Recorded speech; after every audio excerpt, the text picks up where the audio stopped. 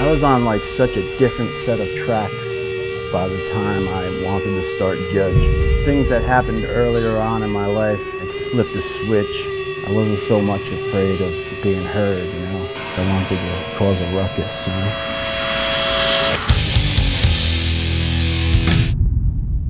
Everything changed after that.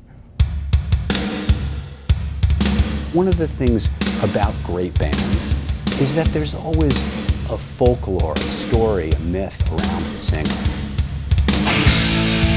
Judge was a very important band. Judge was a controversial band. I was lucky enough to see Judge three times. It got better every time. Judge was really born out of this kind of like dark place, which we were actually in at the time, especially Mike. The thing about Mike, before I actually met him, he was already mythical, kind of um, taciturn, serious guy. You're always kind of just intrigued, like who is the singer or Judge, kind of, you know. and then we broke up. Mike just disappeared. That's what was so mysterious. Like he just completely vanished into thin air, it seemed. Next thing you know, Judge just didn't exist anymore.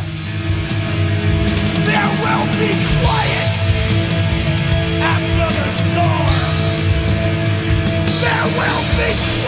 Truth of the matter is, the pain behind it all is overwhelming.